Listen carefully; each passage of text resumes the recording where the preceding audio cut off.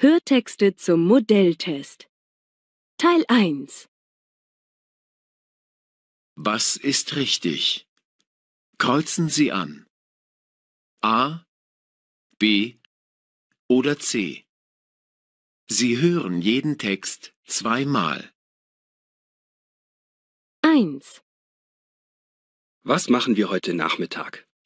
Wir können schwimmen gehen. Das Freibad ist jetzt geöffnet. Nein, es ist noch zu kalt. Gehen wir doch lieber in den Zoo. Im Zoo waren wir vor zwei Wochen. Da ist es immer so voll. Ja, stimmt. Wir können auch im Park spazieren gehen. Das Wetter ist heute sehr schön. Ja, das ist eine gute Idee.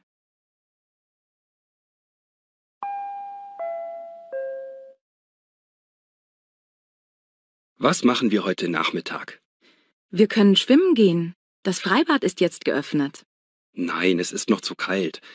Gehen wir doch lieber in den Zoo. Im Zoo waren wir vor zwei Wochen. Da ist es immer so voll. Ja, stimmt. Wir können auch im Park spazieren gehen. Das Wetter ist heute sehr schön. Ja, das ist eine gute Idee.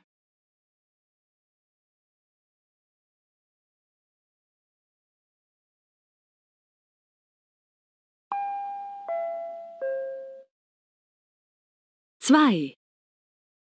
Hallo Natascha, hast du Zeit? Trinken wir einen Kaffee zusammen? Nein, das geht heute leider nicht.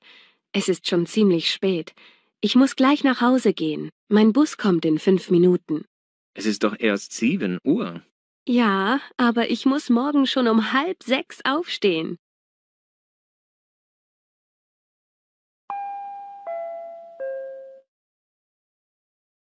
Hallo Natascha, hast du Zeit? Trinken wir einen Kaffee zusammen? Nein, das geht heute leider nicht. Es ist schon ziemlich spät. Ich muss gleich nach Hause gehen. Mein Bus kommt in fünf Minuten. Es ist doch erst sieben Uhr. Ja, aber ich muss morgen schon um halb sechs aufstehen.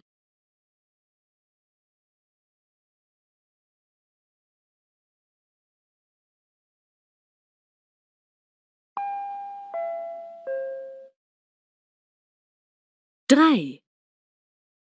Guten Tag. Kann ich Ihnen helfen? Ja. Haben Sie diesen Pullover auch in Größe 44? Nein, leider nicht. Schade. Und wie viel kostet diese Hose? Die Hose? Nur 49 Euro. Sie ist sehr schön. 49 Euro? Ich weiß nicht. Und die Jacke hier? Die kostet nur 39,90 Euro. Sie sieht sehr gut aus. Ja, sie ist wirklich schön. Und sie passt. Ich nehme sie. Kann ich mit Karte zahlen?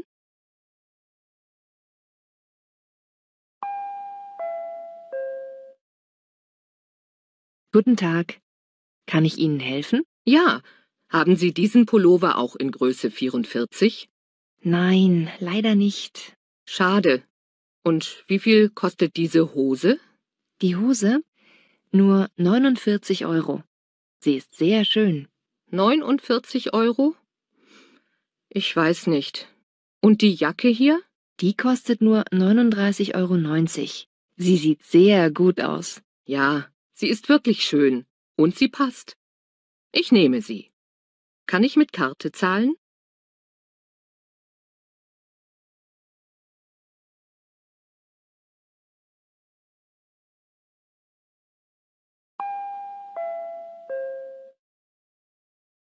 Vier.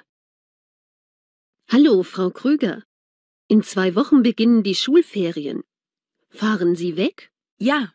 Letztes Jahr sind mein Mann und ich ans Meer gefahren. Das Wetter war wunderbar. Es hat nur einmal geregnet. Und wohin fahren Sie dieses Jahr, Frau Krüger? Dieses Jahr fahren wir nach Österreich. Wir wollen in den Bergen wandern. Und Sie? Was wollen Sie im Urlaub machen? Ich fahre mit meinen Kindern zu meinen Eltern. Da kann ich gut entspannen.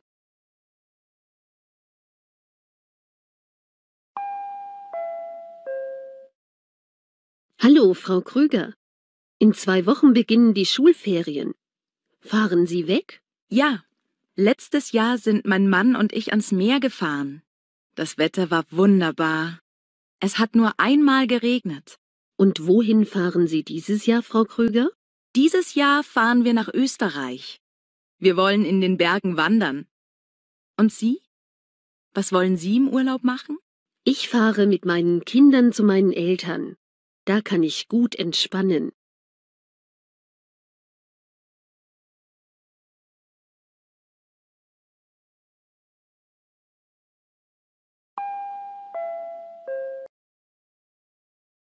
Fünf. Hallo Julia, Hey, Maria. am Wochenende machen wir eine Fahrradtour. Kommst du mit? Oh ja, gern. Wohin fahrt ihr? Wir fahren zum Ammersee. Da können wir auch schwimmen. Soll ich etwas zum Essen mitbringen? Also, ich bringe Brot und Käse mit. Und ich glaube, Mehmet bringt Obst mit. Ich kann ja einen Kuchen backen. Das ist eine gute Idee, Julia.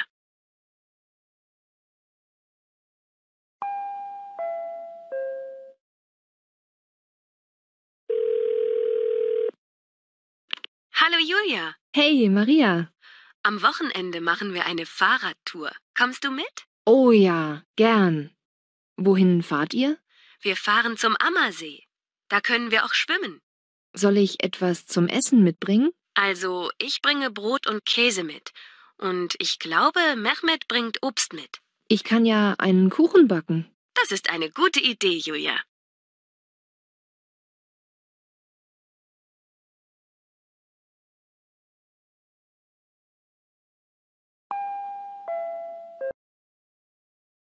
Sechs.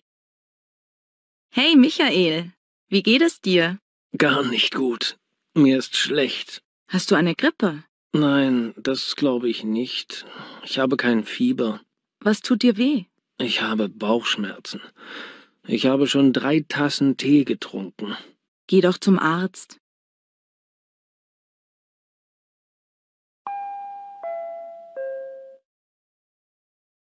Hey Michael, wie geht es dir? Gar nicht gut. Mir ist schlecht. Hast du eine Grippe? Nein, das glaube ich nicht. Ich habe kein Fieber. Was tut dir weh? Ich habe Bauchschmerzen. Ich habe schon drei Tassen Tee getrunken. Geh doch zum Arzt.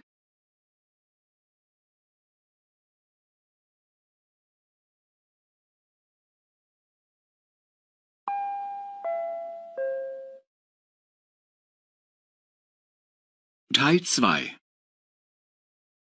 Kreuzen Sie an, richtig oder falsch. Sie hören jeden Text einmal. Sieben. Verehrte Fahrgäste, wegen Bauarbeiten halten die Züge der Linie U1 bis U3 und die Züge der S-Bahn nicht am Ostbahnhof. Fahrgäste zum Ostbahnhof, bitte nehmen Sie an der U- und S-Bahn-Station Zoo die Buslinien 32 oder 33 Richtung Ostbahnhof.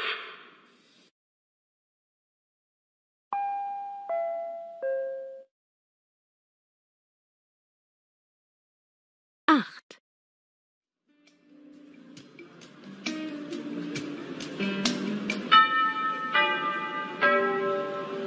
Liebe Kunden, es ist jetzt 18.50 Uhr. Unser Möbelhaus schließt in 10 Minuten. Wir bitten Sie höflich, zur Kasse zu gehen. Morgen haben wir wieder um 9 Uhr geöffnet. Wir freuen uns auf Ihren Besuch.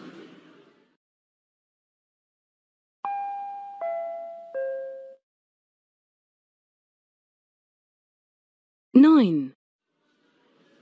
Eine Durchsage für Gleis 10. Sehr geehrte Fahrgäste, leider hat der Regionalexpress nach Hanau 30 Minuten Verspätung. Zwischen Frankfurt und Hanau hat es einen Unfall gegeben. Wir bitten um Entschuldigung.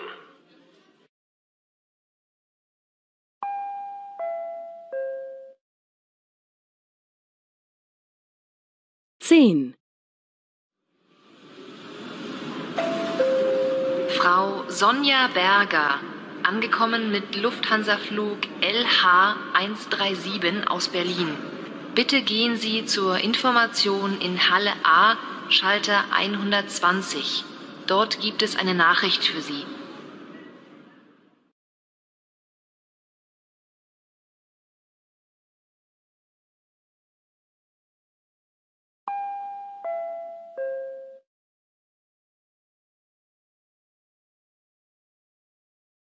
Teil 3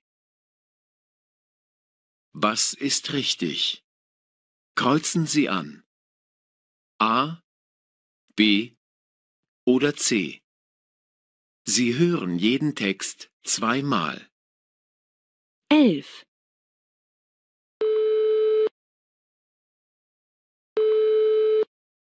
Guten Tag. Hier ist der automatische Anrufbeantworter der Zahnarztpraxis Dr. Krollmann. Sie rufen außerhalb unserer Sprechzeiten an. Diese sind montags bis freitags von 8 bis 13 Uhr und montags, dienstags, donnerstags und freitags von 14 bis 19 Uhr. Mittwochs ist die Praxis ab 13 Uhr geschlossen.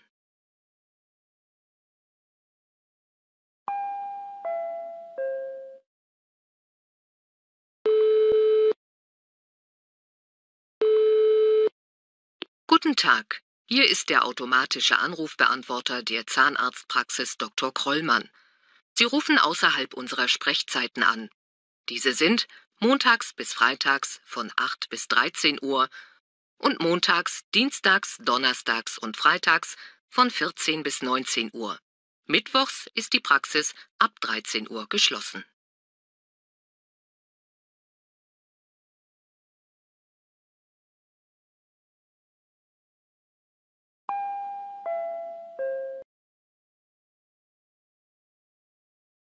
Zwölf,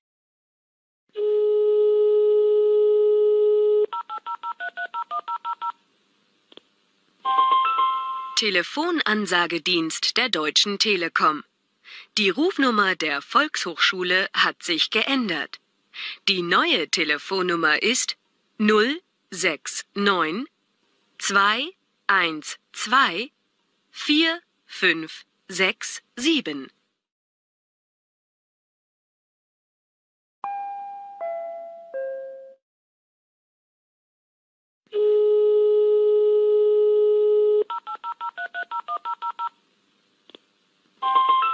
Telefonansagedienst der Deutschen Telekom. Die Rufnummer der Volkshochschule hat sich geändert. Die neue Telefonnummer ist 069 212 4567.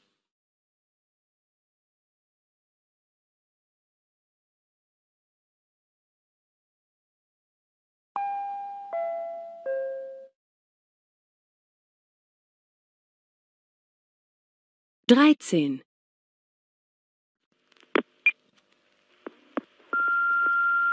Hallo, Frau Meier. Hier Peter Burger. Ich möchte mich entschuldigen. Ich bin krank. Können Sie das bitte dem Chef und den Kollegen sagen?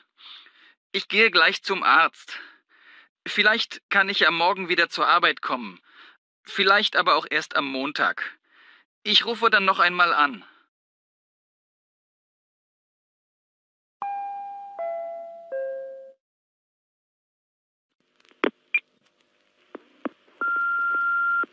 Hallo, Frau Meier. Hier Peter Burger. Ich möchte mich entschuldigen. Ich bin krank. Können Sie das bitte dem Chef und den Kollegen sagen? Ich gehe gleich zum Arzt. Vielleicht kann ich ja morgen wieder zur Arbeit kommen. Vielleicht aber auch erst am Montag. Ich rufe dann noch einmal an.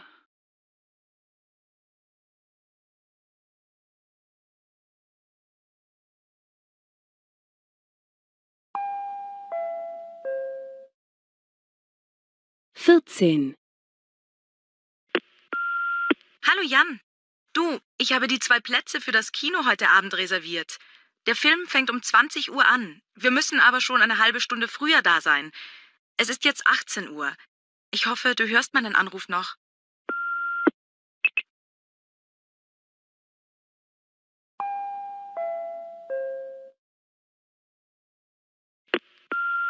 Hallo Jan. Du, ich habe die zwei Plätze für das Kino heute Abend reserviert. Der Film fängt um 20 Uhr an. Wir müssen aber schon eine halbe Stunde früher da sein. Es ist jetzt 18 Uhr. Ich hoffe, du hörst meinen Anruf noch.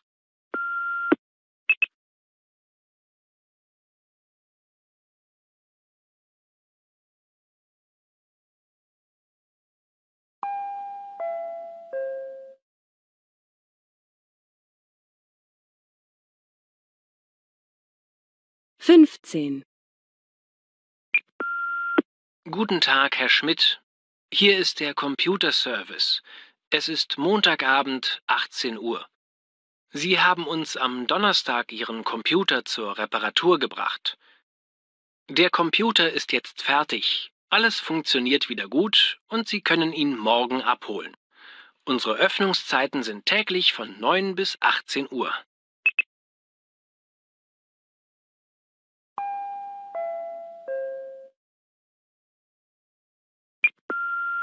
Guten Tag, Herr Schmidt. Hier ist der Computerservice. Es ist Montagabend, 18 Uhr. Sie haben uns am Donnerstag Ihren Computer zur Reparatur gebracht. Der Computer ist jetzt fertig. Alles funktioniert wieder gut und Sie können ihn morgen abholen. Unsere Öffnungszeiten sind täglich von 9 bis 18 Uhr.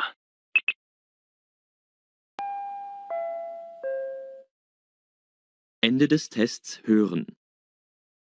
Schreiben Sie jetzt Ihre Lösungen 1 bis 15 auf den Antwortbogen.